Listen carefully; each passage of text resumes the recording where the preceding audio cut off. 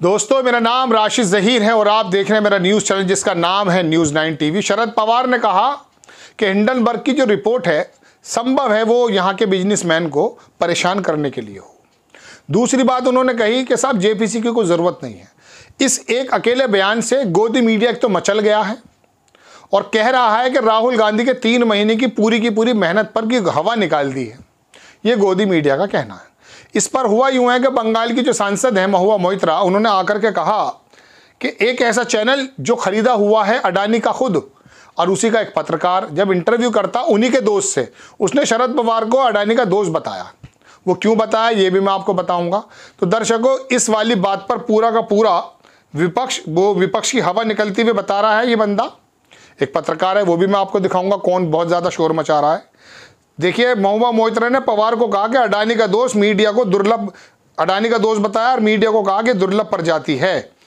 इसका ट्वीट भी देख लीजिए कि अडानी का खुद का चैनल इंटरव्यू कर रहा है उसके दोस्त का और वो बताएगा हमें कि किस, किसको कैसे टारगेट करना है, ये कैसा मीडिया है, ये दुर्लभ। मोहित्रा ने ट्वीट करते हुए लिखा कि अडानी की कंपनी का चैनल, अडानी के दोस्त का इंटरव्यू करके हमको बता रहा है कि अडानी को निशाना बनाया जा रहा है, भारतीय मीडिया जिंदाबाद। वास्तव में मीडिया एक दुर्लभ प्रजाति है। कैसी प्रजाति, ये सबसे आखिर में बताऊँगा, लेकिन उससे पहले मैं राहुल गांधी को बीच में लाना चाहता हूँ।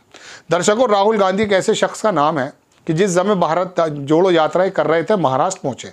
तो इनसे उद्धव ठाकरे के बेटे भी आए उस यात्रा के अंदर। आप जानते हैं, सावरकर चाहे देश में कुछ भी हो, लेकिन महाराष्ट्र के अंदर पूजा जाता है।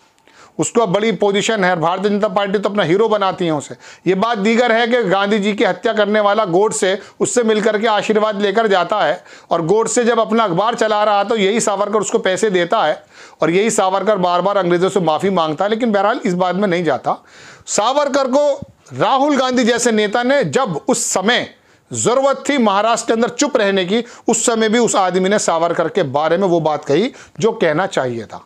हालाँकि इस बात पर शिवसेना भड़क गई। अब आप जानते हैं कि महाराष्ट्र में एनसीपी, शिवसेना और कांग्रेस एक साथ है और इस गठबंधन से भारतीय जनता पार्टी के बारे में अशोक वानखेड़े नाम के पत्रकार हैं। वो कह रहे थे कि भारतीय जनता पार्टी की सीटें डबल डिजिट में भी नहीं आएँगी। लेकिन उसके बावजूद भी फ़ायदा और नुकसान की परवाह करते हुए राहुल गांधी ने जो बात सच है, लोगों के सामने, बहुत वर्ग बड़े वर्ग के सामने वो बात कही। डरे नहीं वो आदमी। तो उस आदमी ने तो सावरकर को उस वक्त नहीं छोड़ा था। वो बोलता गया, नुकसान उसके वोट बैंक का हो, ना हो, वो बात अलग है। महाराष्ट्र से बहुत सारा वोट बैंक छिट सकता था, लेकिन वो बोला ज़रूर। लेकिन अब शरद पवार के बारे में मैं आपको बता दूँ, ये बड़े बड़े बिजनेसमैन होते हैं, यही शरद पवार जब मोदी जी पर हमला करते हैं तो ये पत्रकार क्या होते हैं, चुप हो जाते हैं, कोई बात नहीं करते। बल्कि शरद पवार के बारे में कहने लगते हैं कि दुनिया भर के बड़े भ्रष्ट आदमी हैं। इनके ऊपर भ्रष्टाचार के आरोप लगाते हैं। लेकिन अब हुआ यूँ है कि अब इनके पक्ष की सी बात मुँह से निकल गई है।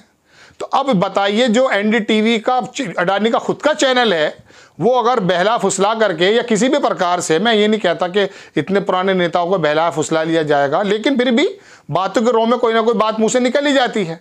उसको लेकर के जो हंगामा कर रहे हैं कि राहुल गांधी की तमाम मुहिम का जो है, हवा निकाल दी तो राहुल गांधी जो अब एक यात्रा शुरू करने वाले हैं ना, और इलेक्शन से पहले रुकेंगे तो ये अडानी का मुद्दा अभी जो राज्यपाल थे, यहाँ उत्तर प्रदेश के भी जाट नेताओं में से हैं, मैं नाम भूल रहा हूँ उनका, मेघालय के इधर कश्मीर के जो गवर्नर थे, सत्यपाल मलिक, उन्होंने कहा बोपुर से बड़ा मुद्दा बनेगा ये। जब राहुल गांधी गली गली में जाकर के बताएँगे ना कि अडानी किस प्रकार के चोर हो सकते हैं, लेकिन जेपीसी नहीं बनाई जा रही है, उस समय इनको जवाब देना पड़ेगा। और इसी वजह से भारतीय जनता पार्टी का शीर्ष नेता घबराया हुआ है।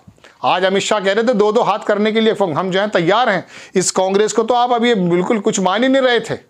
और कई विपक्षी नेता भी कह रहे थे कि कांग्रेस का जो विलय हो जाना चाहिए। आज उस आदमी ने एक यात्रा निकाल करके जेपीसी का मुद्दा उठाकर और अडानी को किसी प्रकार से लोगों के सामने नंगा करने की कोशिश जैसे कर रहा है राहुल गांधी और बता रहे हैं कि उन्होंने इस तरह से जो है घोटाले किए हैं।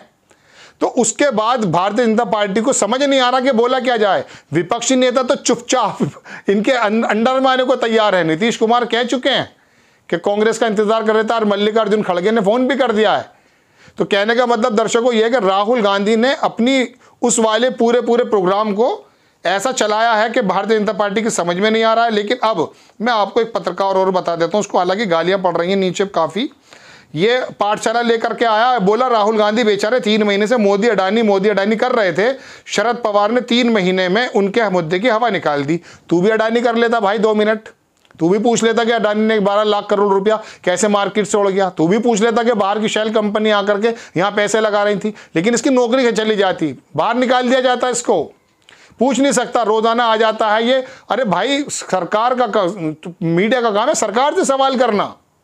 लेकिन ये सारे के सारे सवाल करते हैं। ये अजीत चौधरी सॉरी क्या नाम उसका? सुधीर चौधरी।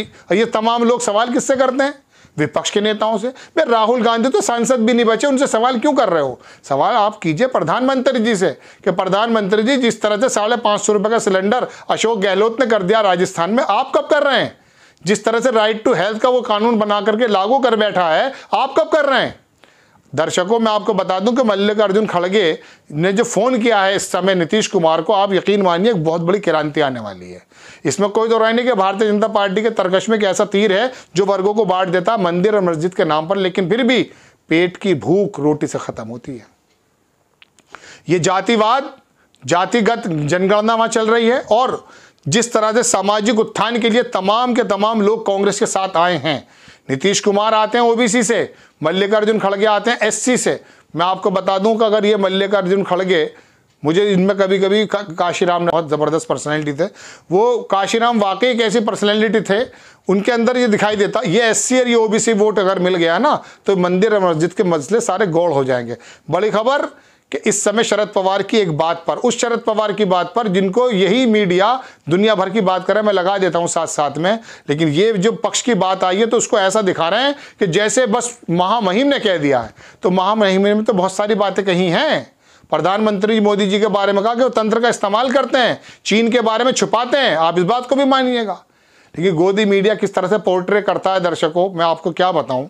इनका 24 घंटे का काम यही हो गया। अब तो सोशल मीडिया पर भी बंदिशें कुछ टाइम में लगने वाली हैं आ गया है वो। कि अब ये जो है सोशल मीडिया पर जो बातें कर रहे हैं, इसकी चेकिंग होगी। जो लोग बातें कर रहे हैं, अब हो सकता है आने वाले समय में हम आपके सामने बातें ज़्यादा ना कर पाएँ चैनल ही बंद कर दिए जाएँ। लेकिन बहरहाल, आपको खबर कैसी लगी अपनी राय कमेंट्स बॉक्स में ज़रूर दीजिएगा एक इल्तिजा के साथ। आप चैनल को सब्सक्राइब कीजिएगा शेयर ज़रूर कर दीजिएगा स्प्रेड कर दीजिएगा। नेक्स्ट टाइम मैं किसी खबर के साथ आता हूँ। जय हिंद।